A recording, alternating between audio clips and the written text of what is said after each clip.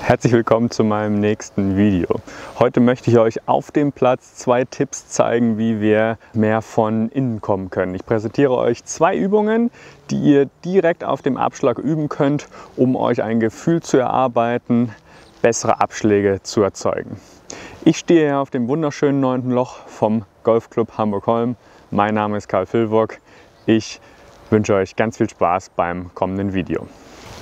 Zwei Übungen, um jetzt also mehr von innen zu kommen, möchte ich euch heute präsentieren.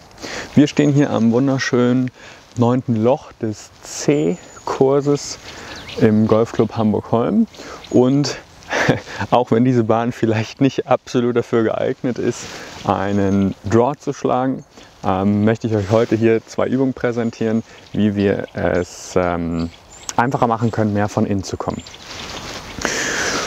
Dazu möchte ich gerne als erstes eine Sache klären. Und zwar, wenn wir mal in die Rückschwungposition gehen, dann ähm, geht es häufig darum, dass man sagt, okay, ich möchte nicht von außen kommen. Ja, das ist diese Bewegung, sondern ich möchte mehr von innen kommen. Bedeutet, dass mein Schlägerkopf so ein kleines bisschen mehr hinter die Hände fällt und ich ein bisschen unter dieser Ebene komme.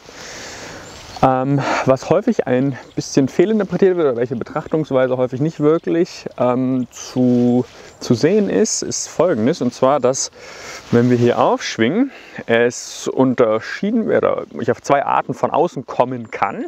Und zwar die erste Art und Weise ist, dass meine Hände einfach zu viel nach vorne gehen. Ja, das wäre viel vorne, das wäre mehr hinten. Man kann es auch sozusagen, wenn ich in den Abschwung komme und der linke Arm parallel zum Boden ist, dann sind jetzt meine Hände eher viel außen. Jetzt würde ich sagen, sind sie neutral und jetzt wären meine Hände weit hinten. Das Ganze können wir an der linken Armposition betrachten. Bedeutet, das wäre außerhalb, neutral, innen. Wenn man von außen kommt oder wenn wir mehr von innen kommen möchten, wollen wir immer diese Position anstreben.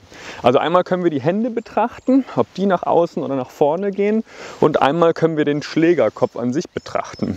Weil wenn wir jetzt in diese Position hier schauen, dann sind meine Hände gut, so wie ich das eben gesagt habe.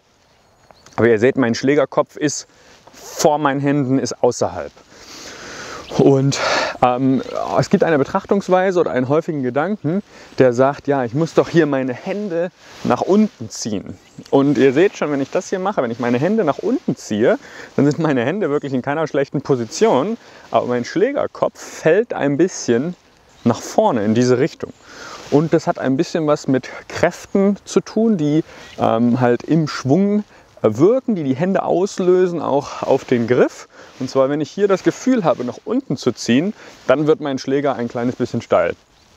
Und genau für dieses Problem möchte ich ähm, euch eine Übung vorstellen, die uns hilft, mehr von innen zu kommen, auch wenn wir, wie hier, ähm, auf dem Abschlag stehen und jetzt direkt Hilfe benötigen. Dazu nehmt ihr den Schlägerkopf mal bitte verkehrt herum, das heißt, so dass der Schlägerkopf nach unten zeigt und stellt euch ganz normal an den Ball und holt jetzt aus. Was wir jetzt machen möchten, ist hinter uns gefühlt in die Erde zu kommen, ohne dass wir uns nach vorne rotieren. Wenn wir das Ganze machen, dann seht ihr, dass mein Schlägerkopf hinter meinen Händen ist und meine, meine Arme meine link, mein linker Arm ist auch hinten. Das heißt, wir schlagen mit dieser Übung zwei Fliegen mit einer Klappe, denn meine Hände und oder meine Arme und mein Schlägerkopf ist hinter uns, also von innen. Ja, das Ganze machen wir zwei, dreimal. Wir wollen wirklich hinter uns, also hinter unseren Füßen in den Boden haben. Man kann diese Übung fehlinterpretieren, indem wir sowas hier machen. Ja, jetzt komme ich auch hier in den Boden oder hier in den Boden, aber wenn wir von innen kommen wollen und das bisher uns nicht so gut gelungen ist, ist es ganz wichtig, dass wir alles immer übertreiben. Das heißt, ich schwinge auf und versuche den Schlägerkopf hinter mir in den Boden zu hauen. Wenn ich zwei, dreimal oder vier, fünf Mal das Ganze gemacht habe und so ein bisschen ein Gefühl dafür entwickle, dann geht es daran, jetzt in der Rotation ein bisschen nach vorne zu kommen. Und ihr seht, wenn ich die Rotation jetzt mitbringe, dann befinde ich mich in dieser Position, wenn der Schaft parallel zum Boden ist, ist eine, in einer ziemlich guten Position. Das heißt, mein Schlägerkopf ist ein kleines bisschen hinter meinen Händen.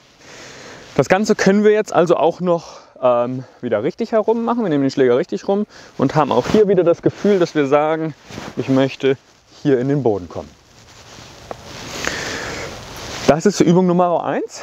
Ähm, für die Drehung, die ich eben erwähnt habe, ähm, möchte ich euch gerne noch eine Übung vorstellen, bevor ich ähm, einen Ball schlagen werde.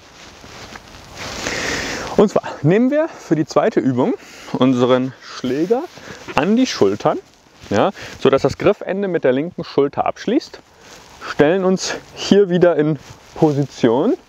Erstmal stellen wir uns gerade hin und dann versuchen wir uns leicht nach unten zu beugen, sodass auch die Schlagfläche jetzt mehr oder weniger parallel zu meiner Wirbelsäulenneigung zeigt. Das heißt, hier zeigt meine Schlagfläche gerade nach oben, hier zeigt meine Schlagfläche parallel zur Wirbelsäulenneigung.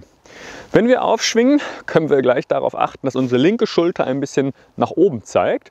Und was wir jetzt machen möchten im Abschwung ist, dass die rechte Schulter, also der Schlägerkopf, auch jetzt leicht nach unten zeigt bis in den Treffmoment. Mein Schlägerkopf zeigt jetzt direkt Richtung Ziel. Ja? Ich mache das nochmal vor. Das heißt, im Abschwung rechte Schulter Richtung Ziel drehen, Druck ein bisschen auf die linke Seite bringen. Mein Schlägerkopf zeigt jetzt direkt Richtung Ziel. Wenn ich das Ganze von dieser Perspektive aus betrachte, aushole, meine linke Schulter ist tief, versuche ich jetzt meine rechte Schulter tief zu bekommen und den Schlägerkopf Richtung Ziel zu bringen. Wir können darauf achten, dass wir in der frühen Position des Finishs immer noch so dastehen, dass die rechte Schulter ein bisschen tiefer ist als die linke und erst ganz spät können wir uns versuchen wieder aufzurichten. Viel zu häufig, wenn man einfach nur daran äh, denkt, ich möchte mich auf den Ball rotieren, kommt eher sowas hier zustande. Und ihr seht schon, jetzt ist mein Schlägerkopf deutlich außerhalb und wir möchten ihn aber in diese Richtung bringen.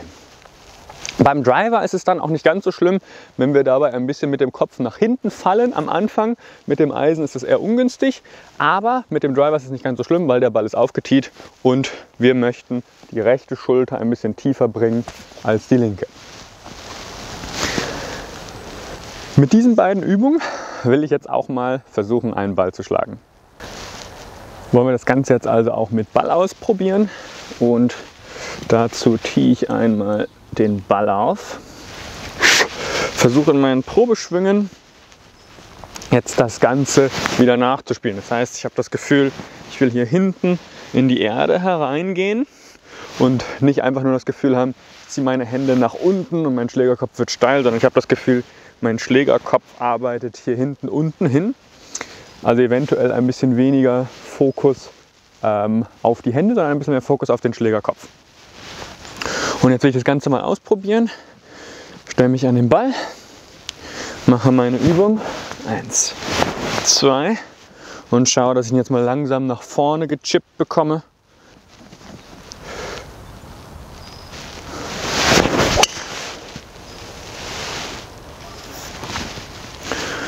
Probiere das Ganze nochmal aus. Jetzt mit ein bisschen mehr Speed. Gleiche Pre-Shot-Routine.